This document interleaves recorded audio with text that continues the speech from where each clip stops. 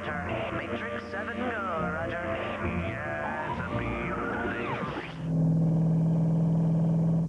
This program is brought to you by Hollywood Video.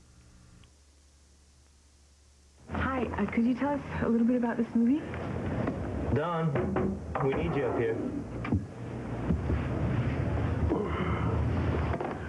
Someone is taking their love of sequels one step too far. Someone doesn't want the terror to end. From Dimension Home Video, Scream 2, rated R. That was real nice, Don. Uh-huh. Scream 2, guaranteed in stock or next time it's free.